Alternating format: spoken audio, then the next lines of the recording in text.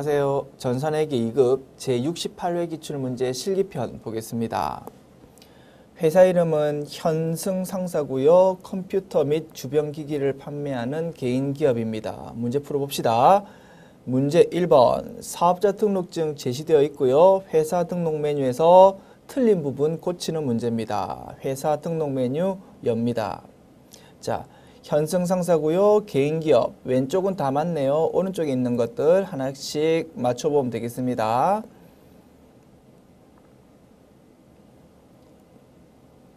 잠깐 이동시키겠습니다. 자, 이렇게 이동시키고 맞춰보자. 회사 이름은 현승 상사고 대표자명 김현승 기업 연월일 2012년 1월 25일 맞습니다. 회사 주소요.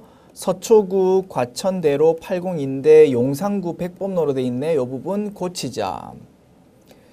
그리고 업태는 도소매고요. 종목은 컴퓨터 부품인데 조명기구로 되어 있네요. 이것도 고치자.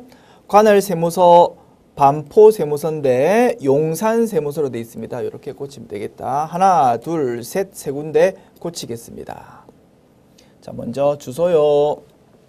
사업장 주소 서울 특별시 서초구 과천대로 802 이렇게 고치고 종목을 컴퓨터 부품으로 고치고 세무서를 반포 세무서로 고치고 이렇게 하면 모든 수정사항 입력 완료 메뉴 닫으시면 되겠습니다. 문제 2번 자 전기분 재무 상태표 문제입니다. 제시되어 있는 금액과 해당 메뉴 금액이 다른 것 고치면 되겠네요. 전기분 재무 상태표 메뉴 엽니다. 자, 하나씩 맞춰보자. 현금 맞고요. 당좌 예금 맞고 보통 예금 보통 예금이 950만 원이라 해야 되는데 550만 원으로 돼 있네. 요거 고치면 되겠고요. 외상 매출금 맞고 대손 충당금 맞고요.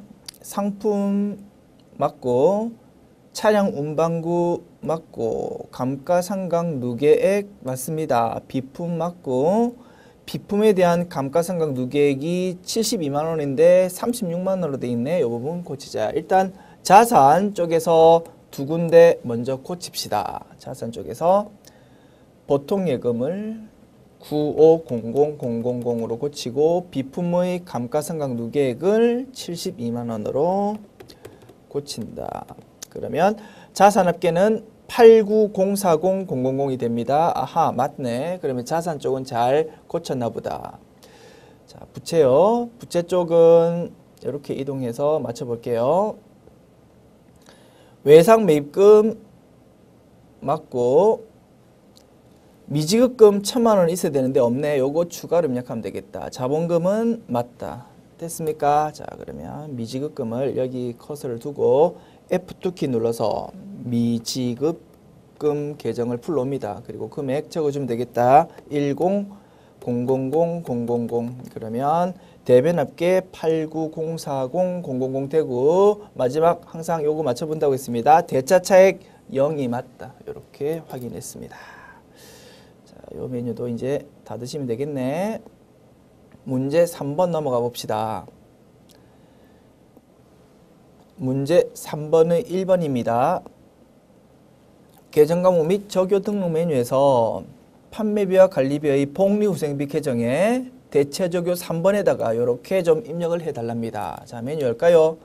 계정 과목 및 적요 등록 메뉴 열어서 왼쪽에 있는 계정 책에서 판매 관리비를 딱 클릭하면 오른쪽 화면에 판매비와 관리비 계정 과목이 쭉 나열되죠. 이렇게 하면 찾기가 조금 더 쉽겠네. 여기서 복리후생비 계정 과목을 찾아봅시다. 811번 여기 복리후생비가 있네. 여기서 대체 적용 여기다가 3번 해가지고 뭐라고 적어달라고요? 명절 선물 대금 신용카드 결제 좀 말이 기네 보면서 적어야 되겠다. 이렇게 당겨가지고 음, 여기다가 적어 적어봅시다. 명절 선물 대금 신용카드 결제 이렇게 적으면 되겠다. 자, 메뉴 닫으시고요. 문제 3번의 2번 문항 볼게요. 전기분 외상 매출금과 외상 매입금 기말 잔액이 다음과 같대요. 거래처별 초기 2월 메뉴를 보고 금액 틀린 거 있으면 고치랍니다. 거래처별 초기 2월 메뉴 열어서요. 먼저 외상 매출금에 대해서 확인해 봅시다. 광주 상사 260만 원. 26 2600000으로 고치고 부산 상사 2300000 맞고 대구 상사 1100000 맞습니다. 자, 항상 마지막 단계 차액 0이 맞는지 확인하자. 오케이. 그러면 외상 매출금은 잘 고쳤고요. 이제 외상 매입금 볼까요? 외상 매입금 보자. 자, 이렇게 이동해서 맞춰 볼게요.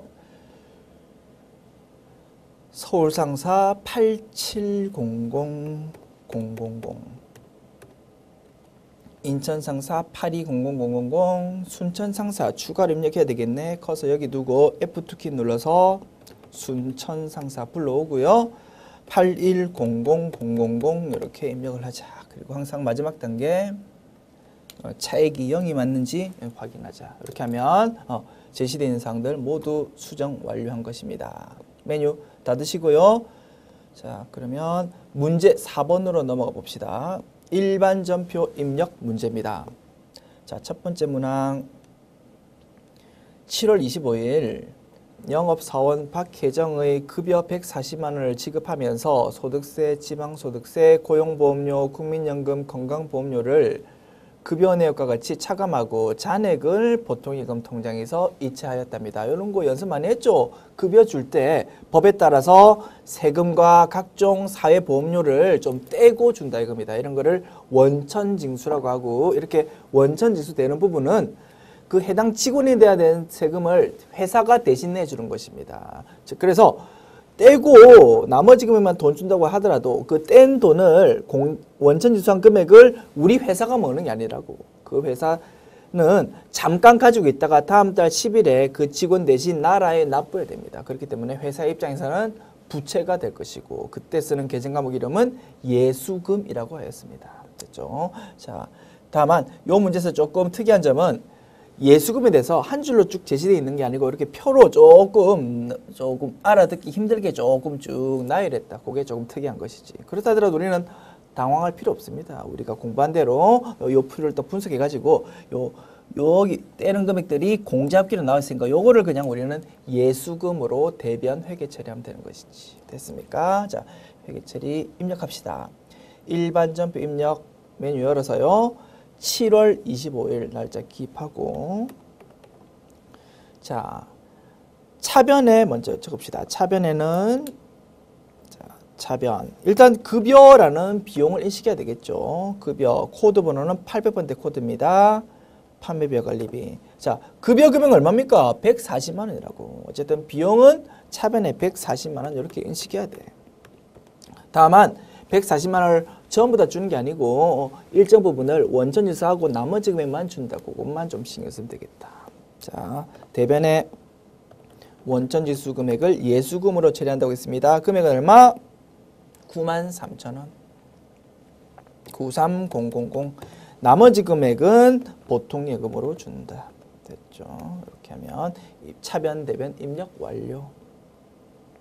그래서 보통 예금으로 지급되는 금액은 여기 지급 총액이라는 금액으로 나와 있네요. 이렇게 확인하면 조금 더 자신감 있게 입력할 수 있겠네요. 자, 2번 문항 넘어갑시다.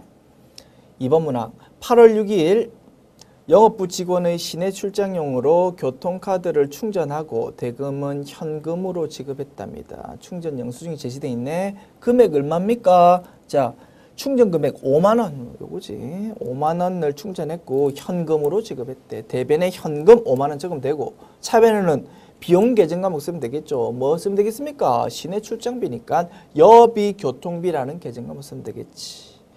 8월 6일입니다. 차변에 여비, 교통비 이렇게 쓰면 될 것이고 코드 번호는 800번대 코드입니다. 판매비 관리비. 금액 50000 대변에 현금 이렇게 적으면 차변 대변 입력 완료 3번 문항 봅시다. 8월 20일 영업부 사무실용 문구용품을 구입하고 신용카드로 결제하였다. 비용으로 처리할 것 돼 있네요.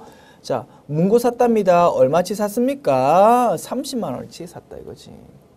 자, 대변에 뭘로 처리할까요? 외상으로 산 거죠, 그죠? 신용카드 결제라는 거는 미지급금 이렇게 처리하면 되겠지. 이게 만약에 회사의 주된 영업 활동인 상품을 사는 것이라면 외상 매입금 이렇게 하면 되겠지. 그러나 이거는 문구, 즉 소모품을 사는 거니까 이런 거는 주된 영업 활동 아니니까 당연히 대변에 미지급금 회계 처리하면 된다 이겁니다. 특이한 점은 거래처를 기입할 때 요 가게 이름, 세안 문구를 기록한 게 아니고 신용카드 결제이기 때문에 돈 누구한테 줍니까? 요 가게 주는 게 아니고 신용카드사에 돈을 준 거죠. 그렇기 때문에 거래처는 신용카드사, 신용카드사는 국민카드네 요, 요거를 거래처로 한다. 그것만 조금 신경 쓰면 되겠다. 차별은 계정은 뭡니까? 문구용품 샀으니까 소모품비라고 회계처하면 되겠죠. 물론 소모품 살 때 자산 계정 과목 소모품이라고 회계 처리할 수도 있죠. 그렇기 때문에 문제에서 비용 계정 과목 쓰라 이렇게, 이렇게 명시가 되어 있는 것이지. 그러면 우리가 배운 대로 소모품비 계정 과목 이렇게 입력하면 되겠다. 분석 끝났죠? 입력합시다. 8월 20일 차변에 소모품 소모품비라는 비용 계정 과목 코드 번호 800번대 코드 이렇게 입력하시고 금액은 30만 원이었다. 300000 대변에는 미지급금 계정 과목 쓰고 거래처는 카드사로 자, 카드사가 어디였습니까? 카드사가 국민카드였지. 국민카드 이렇게 입력하면 차변 대변 입력 완료. 우린 배운 대로 이렇게 입력하면 되고요. 답안을 보니까 차변 쪽에 사무용품비라는 계정 과목이 또 있는 모양이네. 그거 입력해도 정답으로 인정은 된답니다. 우리는 그냥 배운 대로 소품비 이렇게 회계 처리하면 되겠죠? 오케이. 4번 문항 봅시다. 9월 11일 진사 상사에서 상품 700만 원, 뭐 200개고 한 개당 3만 5천 원이래. 요거를 구입하기로 계약하고 대금의 20%를 당자금 계좌로 이체해 줬답니다. 상품 살려고 계약금 쪽으로 돈 미리 줬다 이거지. 뭡니까? 선급금이지 뭐. 차변에 선급금, 대변에 당자 예금 이렇게 적으면 되겠지. 선급금 금액 얼마입니까? 계약금 금액은 700만 원의 20%니까 700만 원 곱하기 20% 140만 원 되겠네요. 자, 입력합시다. 9월 11일 차변에 선급 금 거래처는 어디입니까? 선급금은 거래처 진사상사네.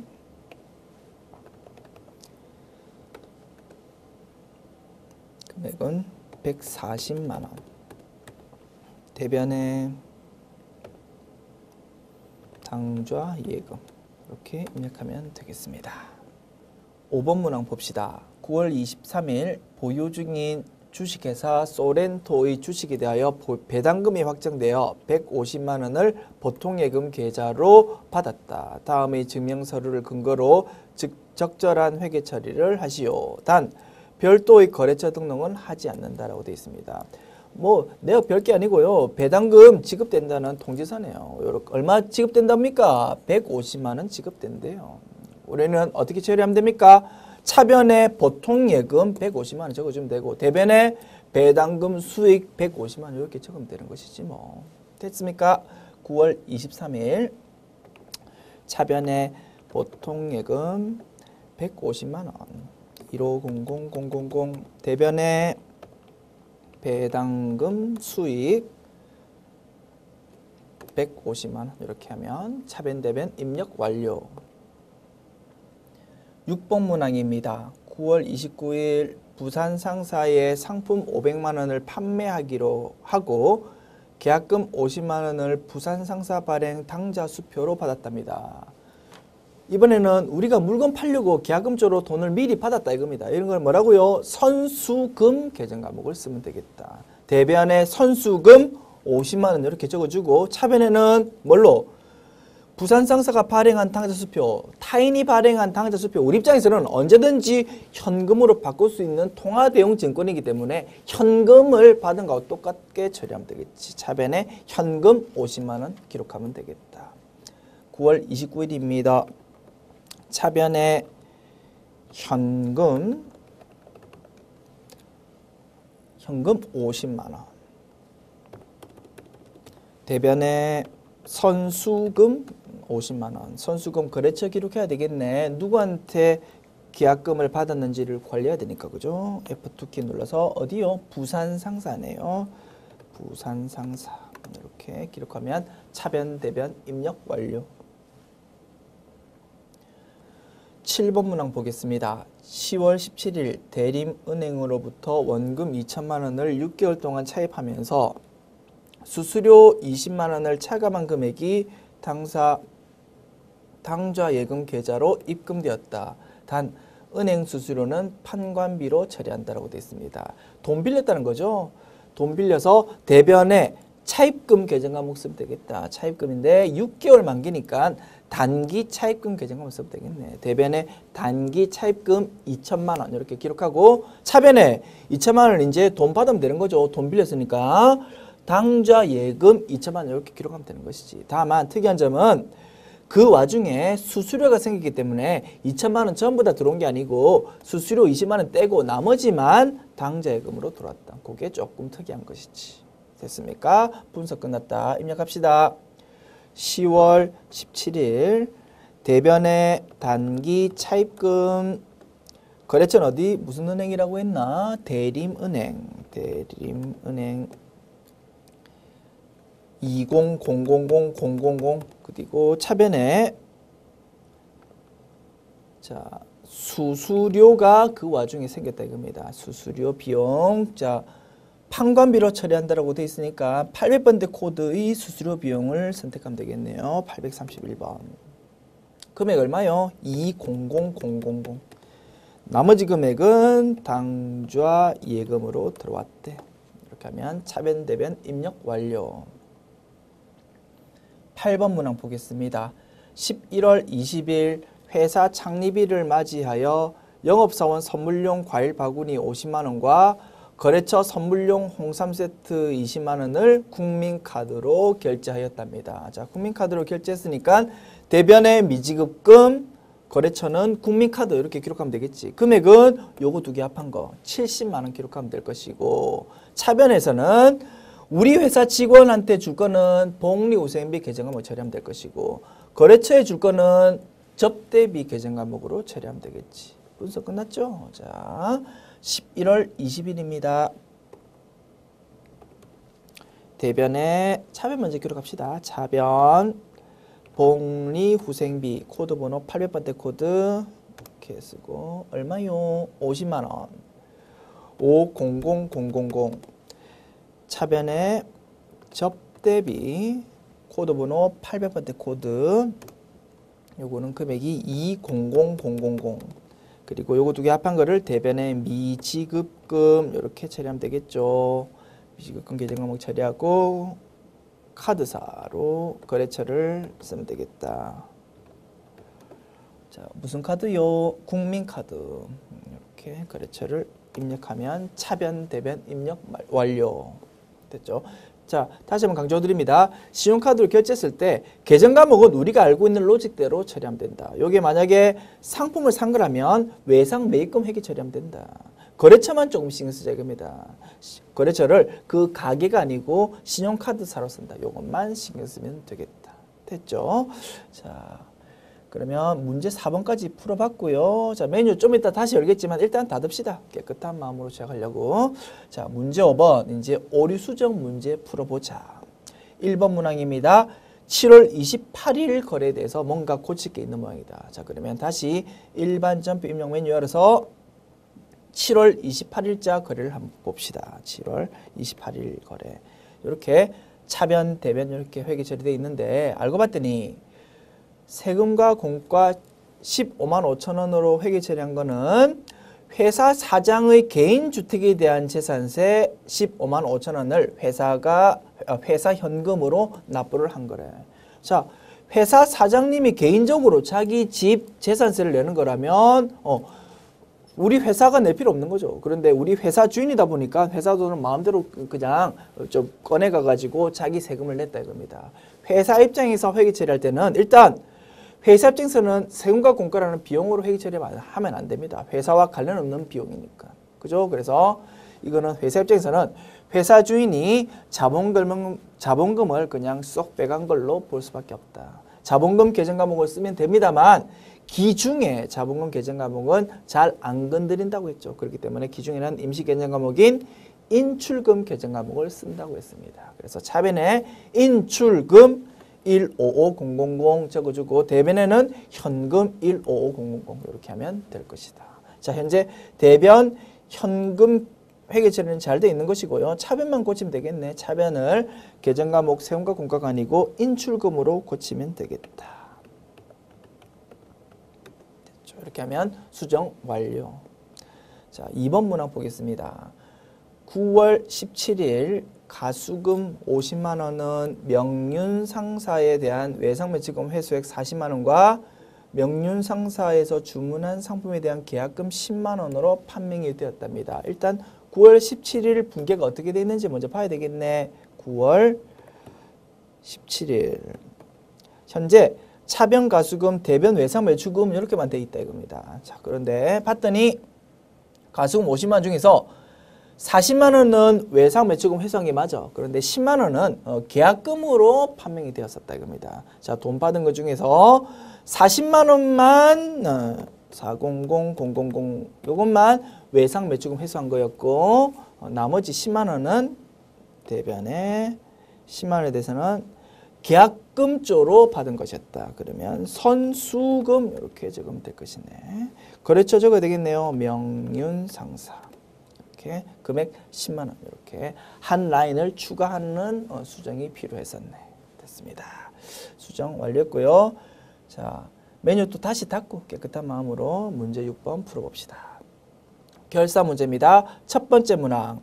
당기분 감가상각비는 매장 건물 70만 원, 영업부 비품 50만 원이다. 감가상각비 인식하는 분계네요. 자주 출제된 형태다. 자, 입력합시다. 일반 전표 입력 메뉴에서 날짜 12월 31일 이렇게 기록하고 대변 먼저 기록할게요. 대변에 감가상각 누계액 자 여러 개 계정 과목 중에서 뭐 건물에 대한 감가상각 누계 건물에 대한 거 203번 코드 이렇게 불러오고요. 금액 적어주면 되겠다. 얼마요? 70만 원. 700000 그리고 대변의 감가상각 누계액 이번에는 뭐 비품에 대한 거 비품에 대한 거는 코드가 213번 코드네. 요거 적어주고 금액은 50만 원입니다. 500000 차변에는 요거 두 개 합한 거를 감가상각비로 기록하면 되겠네. 코드 번호 800번대 코드입니다. 818번. 금액은 요거 두 개 합한 거 플러그로서 자동으로 쫙 입력되죠. 오케이. 이렇게 하면 차변 대변 입력 완료. 2번 문항 봅시다. 기말 현재 다시요.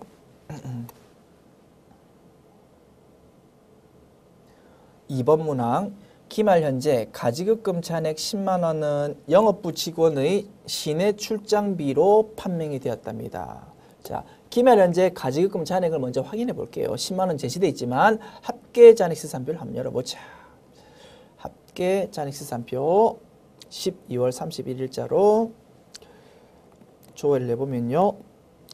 자, 가지급금 잔액이 차변에 10만 원 있다는 거 확인할 수 있습니다. 요걸 더블 클릭하면 기중의 회계 처리가 어떻게 되었는지도 확인할 수 있죠. 더블 클릭하자 하면은 9월 30일에 가지급금 10만 원이 차변에 생겼나 봅니다. 요걸 다시 그 더블 클릭하면 하단에 전표 내용까지 볼 수 있다고. 전표 내용 보니까 9월 30일에 출금이니까 대변에 현금 10만 원 이렇게 적겠다는 거죠. 차변에는 가지급금 10만 원 이렇게 기록이 되었었습니다. 아, 10만 원 가지급금을 이렇게 인식을 했구나 확인할 수 있죠. 자 여기서 확인하고 싶은 건 이거였습니다. 사실은 가지급금, 가수금도 거래처를 관리하는 것이 원칙이죠. 그러나 이 분기에서는 보니까 거래처가 입력이 안 돼 있었네. 요거 좀 확인하고 싶었다 이겁니다. 됐죠? 확인했다. 자 그러면 차변에 있는 가지금을 요거는 임시 계정 과목이니까 최종 재무제표에 나타내면 안 되죠. 그래서 결산 때 요 차변에 있는 가지금을 대변으로 적어서 없애야 된다 이겁니다. 일단 대변에 가지급금 10만 원 이렇게 적어서 가지급금을 없애야 되고 차변에 뭘로 기록해야 된다고요? 알고 봤더니 요게 직원 시내 출장비로 판명됐대요. 그래서 차변에 여비, 교통비 10만 원 이렇게 기록을 하면 되겠네요. 됐습니까? 자, 분석 끝났으니까 입력할게요. 자, 일반적 입력에다가 차변에 여비, 교통비 800번대 코드로 이렇게 적어주고 금액은 10만 원. 그리고 대변에 가지급금 이렇게 적어주고 거래처 애당초에 차변 인식할 때 거래처 인식 안 했으니까 대변으로 없을 때도 거래처 인식 안 해도 되겠다 이겁니다.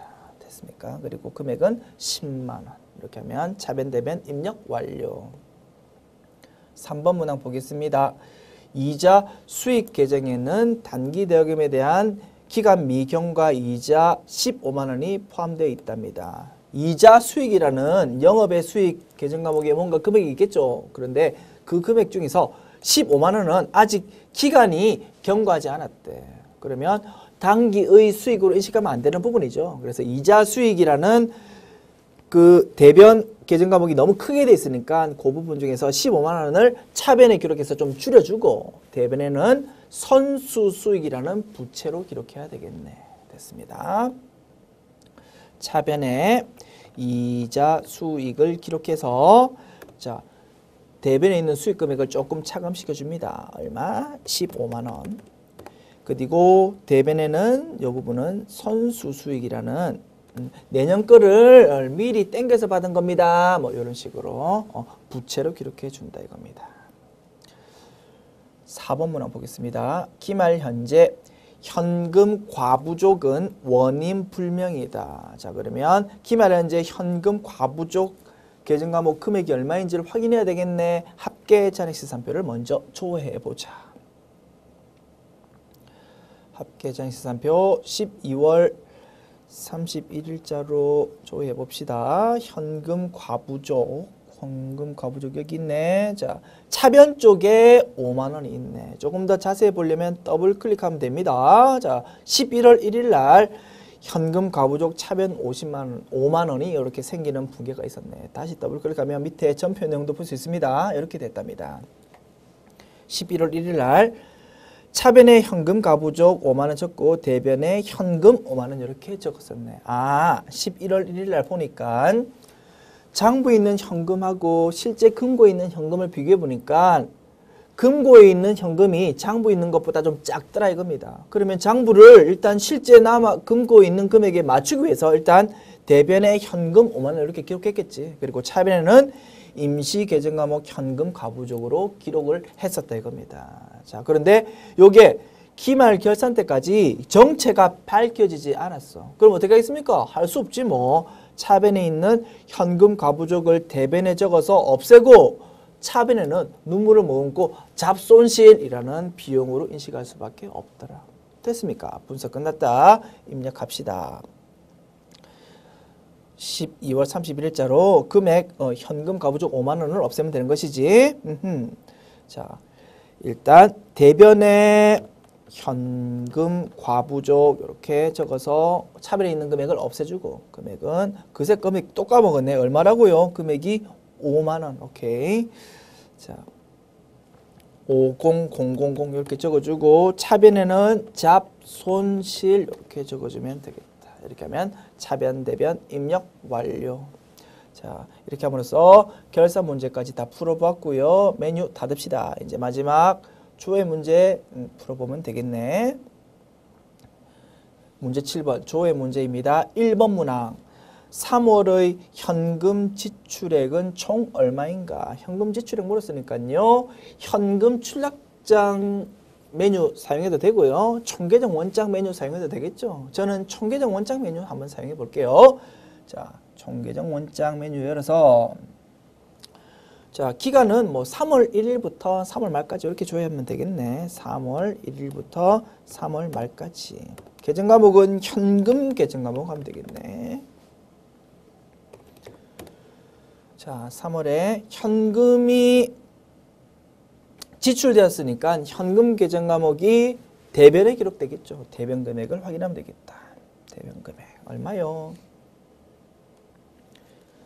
3175973이었다. 요게 1번 문항의 정답. 조금 더 자세한 내용 보려면 더블 클릭하면 그 원장 내용까지 볼 수 있겠지. 어쨌든 답은 3175973이었다. 자, 정답 확인했고요. 자, 말씀드렸듯이 더블 클릭 한번 해볼게요. 더블 클릭하면 이렇게 자세한 내용까지 볼 수 있다. 이 내용이 결국은 현금 출납장 내용하고 똑같은 겁니다. 자, 메뉴 닫으시고 자 1번 문항 풀어봤습니다. 2번 문항 봅시다. 1월 1일부터 5월 31일까지 발생한 복리후생비 금액은 얼마인가? 일정 기간 동안의 계정 과목을 묻고 있으니까 일개표, 월개표 메뉴 사용하면 되겠지. 또는 그 기간이 1월 1일부터 시작되는 거다 보니까 그리고 그게 비용 계정 과목이다 보니까 손익계산서 메뉴 사용해도 조회할 수 있고요. 또는 합계잔액 시산표 메뉴 사용해도 조회할 수 있습니다. 저는 그 중에서 일개표, 월개표 메뉴 사용해 볼게요. 자, 일개표, 월개표 메뉴 기간은 1월부터 5월까지고요. 자, 판매비와 관리비 중에서 계정 과목 뭐라고요? 복리후생비 계정 과목, 복리후생비 계정 과목. 자, 차변에 있는 개 요 금액을 보면 되겠죠? 금액은 6371100원입니다. 요게 2번 문항의 정답. 자, 마찬가지로 더블 클릭하면 이렇게 원장 내용까지도 볼 수도 볼 수는 있더라. 됐고요. 자, 메뉴 닫습니다. 마지막 3번 문항 볼게요. 상반기 1월부터 6월 중 상품 매입이 가장 많은 달은 몇 월이며 그 금액은 얼마인가? 가장 많은 달 묻으면 총계정 원장이 제일 편하다고 했죠. 오케이. 자, 총계정 원장 메뉴 열어서 기간은 1월부터 6월 말까지. 계정 과목은 상품 매입을 묻고 있으니까 상품 계정 과목 조회하면 되겠죠. 상품 146. 자, 요거에 대해서 상품 매입하면 차변 쪽에 기록됩니다. 그죠? 차변 쪽에 금액이 기록되는데 어, 요거 1월부터 6월까지 중에서 차변 금액이 제일 큰 달을 한번 찾아보라 이겁니다. 어느 달이 제일 큽니까? 6월 달이 월등하게 크네. 6월이 제일 크고 금액은 3610000이더라. 자, 정답 이렇게 쓰면 되겠죠. 월과 금액을 묻고 있으니까 월은 6월이고 금액은 3610000입니다. 이렇게 답을 하면 되겠다.